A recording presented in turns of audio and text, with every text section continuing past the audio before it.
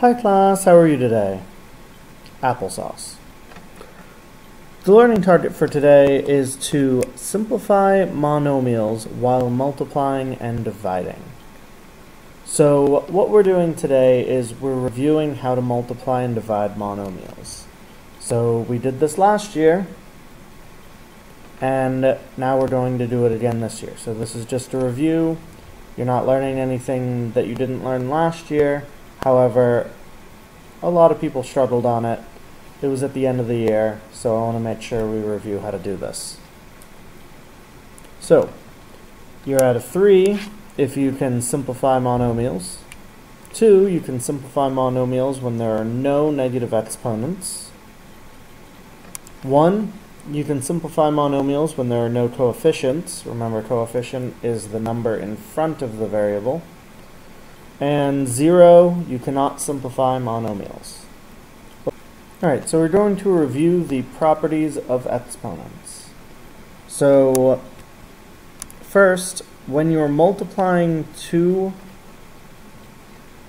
variables, with the same base. That means the number being raised to exponents is the same. So they're both x's. If it was both y's or uh, something like that, that's fine too. But if one is one variable and the other is a different variable, then you can't do it. So if this was an x and this was a y, can't combine them. Okay? So, we have x to the m times x to the n when you multiply variables, you add the exponents. An example would be x to the 8 times x to the 3 is x to the 11. So you add the exponents here. So next we have when you raise an exponent to another exponent, what you do is you multiply the exponents. So x to the m to the n is x to the m times n. An example of that is x to the 8 to the third is x to the 24th times because 8 times 3 is 24. Next, when you divide variables, you subtract the exponents. And it's always the top minus the bottom. So x to the 8 over x to the third, 8 minus 3 is 5, so x to the fifth. Next is when you raise a variable to a negative exponent, you bring it down to the bottom of the fraction. If there's no fraction, you just do 1 over and bring it to the bottom of the fraction. So example here, x to the negative 8 would be 1 over x to the 8. And just a note, back with the dividing, if the bigger number is on bottom instead of on top, so if you do the subtraction and instead it's 3's on top and 8's on bottom, that would give you x to the negative 5, which would be 1 over x to the 5. So whenever you do division, you want to make sure that if the bottom exponent is bigger, then that stays on bottom. So if you raise a fraction to an exponent, you're raising each number in the fraction to that exponent. So if you have x over y to the eighth, it's x to the eighth over y to the eighth. If you raise a fraction to a negative exponent, that flips the fraction. It gives you the reciprocal. So if you take x over y and raise it to a negative exponent, it's like saying y to that exponent over x to that exponent. So you flip it and then raise each of them to the exponent. So if we have x over y to the negative 8, it's going to be y to the 8 over x to the 8. Alright, and the final property is anything to the 0 power is always 1 except 0 itself, but we won't be dealing with that at all. So even 83 to the 0 power is 1. Anything to the 0 power will be 1. And remember, whenever you're multiplying in, if you have a 1 there, you don't need it. Uh, the one only stays if that's the only thing in the top of a fraction, such as this case right here. So other than that, if you see a 1 anywhere, you don't need it. As my friend Zach Willett will normally say, kill all ones. Alright, now let's look at some examples. So here we have 3x squared times 4x cubed. So when you have the numbers in front, these are known as coefficients, you take the numbers in front and you multiply those first. So 3 times 4 will give us 12.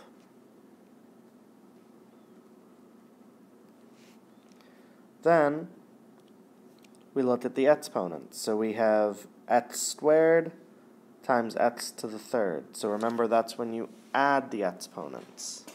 So that'll give us x to the 2 plus 3. So that'll give us still 12 there. x to the fifth.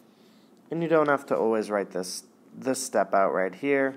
If you know automatically 2 plus 3 is 5, you can just write 5. And that's the answer there. So 3x squared times 4x cubed will give us 12x to the fifth. Now let's look at this one. So here we have to multiply each thing separately.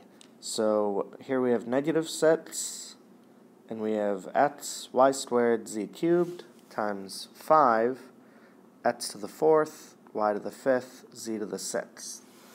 So we have to multiply each thing separately. So first, the numbers. Negative 6 times 5 will give us negative 30.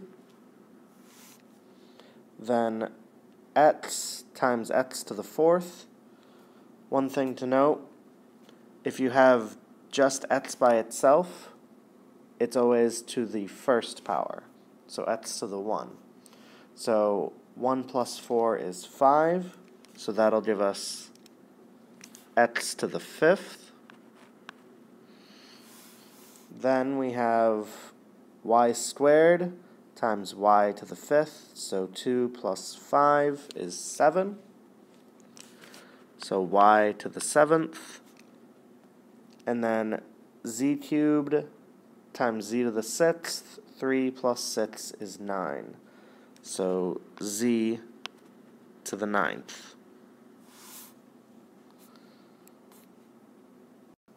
Alright, this one will take a little bit more time. So first we want to look at, we have a monomial being raised to an exponent and another monomial being raised to an exponent. So first, we need to raise each of these to the to their respective exponents. So to do that, we need to look at the exponents. So first we have negative 3 squared. So we raise each thing to the exponent. So negative 3 squared well, negative 3 squared is negative 3 times negative 3, which is a positive 9.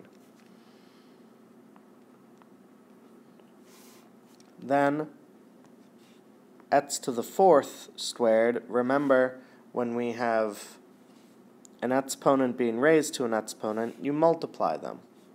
So x to the fourth squared will give us x to the eighth.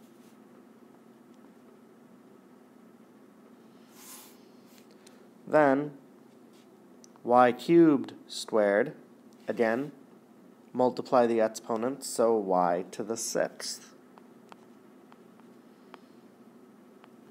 Then the other one. So 2 cubed, that's 2 times 2 times 2, which is 8.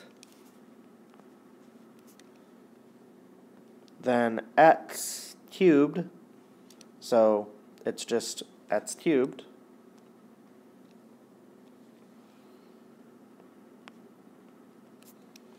And then y squared cubed. So again, multiply the exponents. 2 times 3 is again 6. So y to the sixth. Now, we're back to similar to the last problem, we need to multiply those two. So multiply each individually. So 9 times 8 is 72. X to the 8th times x cubed will give us x to the 11th. Remember, add the exponents. And y to the 6th times y to the 6th. 6 plus 6 is 12. So y to the 12th. So now let's look at some examples of dividing monomials. So just like with multiplying, with dividing, you do everything separately. So here we have 8 divided by 2, which will be 4, and then x to the 5th divided by x to the third. So that's where we subtract the exponents. So 5 minus 3 will give us 2. So x squared. So now let's look at this one. So first let's look at the numbers. We have 3 over 2. Can you nicely divide 3 over 2? No. It's a fraction, so you should leave it as a fraction. So just leave it as 3 over 2. Then let's look at x. So here we have x to the fifth divided by x to the third. So 5 minus 3 is 2. So we have x squared. Now let's look at the y's. Here we have y squared divided by y to the seventh. So you would have to do 2 minus 7 is negative 5. So since it's a negative 5, you get rid of the negative and you put it on the bottom. So it becomes y to the fifth. So just a note, when you're dividing these, if the bigger number is on top, it stays on top. If the bigger number is on bottom, it stays on bottom. Make sense? Good.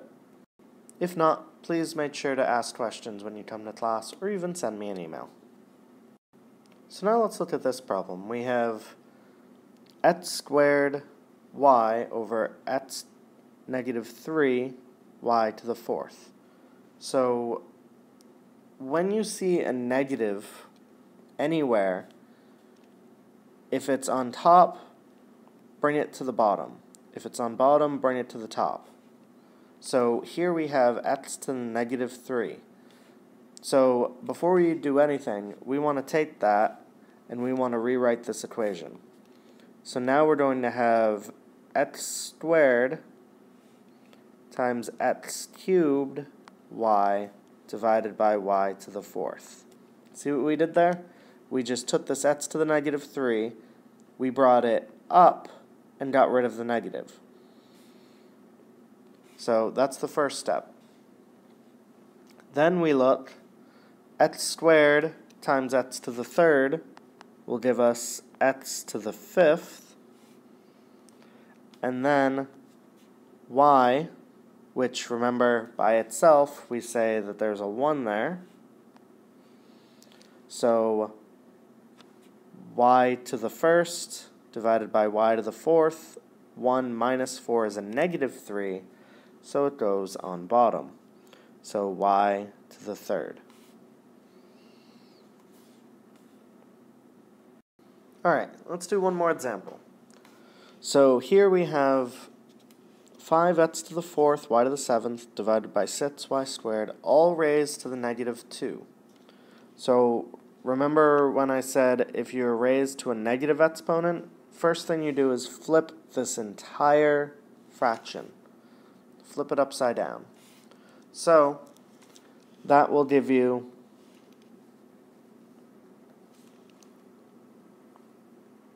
six y squared over 5x to the fourth y to the seventh squared. So that's the easiest thing to do first. Just take the negative and flip everything with it. Then you need to raise everything to the second power. So 6 squared will give us 36. Y squared squared, remember add the exponents, y to the fourth. 5 squared is 25. x to the fourth squared, 4 times 2 is 8. And y to the seventh squared, 7 times 2 is 14. Now 36 over 25, that can't be reduced at all. So it's going to stay that way. 36 over 25. Then notice the x's. There's only x to the eighth on bottom. So it has to stay x to the eighth on bottom. Then y to the fourth divided by y to the 14th. So 4 minus 14 is negative 10, so that means it's y to the 10th on bottom. And that's our answer. Alright, that's it for the lesson. Now time for the sponge. So, I want you to simplify each expression. So, first we are multiplying 5x to the fourth, y to the third, and 6x squared y. Here we're dividing 8x to the fifth, y to the third, and 10x squared, y to the seventh. And on number 3, we've got 2x to the fourth over y to the third, and we're raising it all to the negative negative third power. Alright, that's it for the lesson today. Once again, please take notes on the entire lesson and attempt the sponge. Also, please remember to circle on the scale where you think you are at the end of the lesson after you attempt the sponge, just so I know where you are. And have a good night.